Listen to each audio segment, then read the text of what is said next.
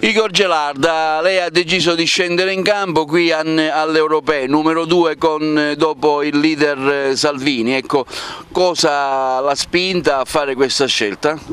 Innanzitutto io ho solo accettato la proposta che mi è stata fatta dai vertici nazionali e sono sceso eh, con orgoglio e anche con grande energia per questa competizione. Sono eh, il numero due nel senso che eh, dopo Candiani sono il responsabile regionale degli enti locali e credo che la Lega può fare e farà molto per la Sicilia anche in Europa, quindi sono convinto che dobbiamo mandare dei leoni in Europa per difendere la Sicilia e ribaltare ribaltare questi trattati che in Europa ci penalizzano.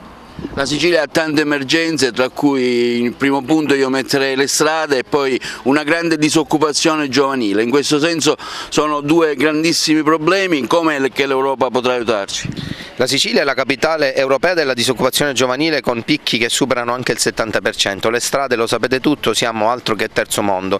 In Europa, eh, ponendo al centro un piano di mobilità per la Sicilia in Europa, io credo che molto si può fare. Per quanto riguarda il lavoro dobbiamo sfruttare meglio tutti quelli che sono i finanziamenti europei, perché non con dei finanziamenti dati a pioggia senza progettualità, ma con delle idee che servano per creare start-up e impresa, possiamo migliorare questa situazione della gravissima disoccupazione nella nostra terra. Una battuta sul governo nazionale, questo botte e risposta in continuazione su tematiche importanti tra Lega e 5 Stelle, coglierete l'appello di Berlusconi e la Meloni dopo magari il successo europeo che si prevede di andare al nuovo voto?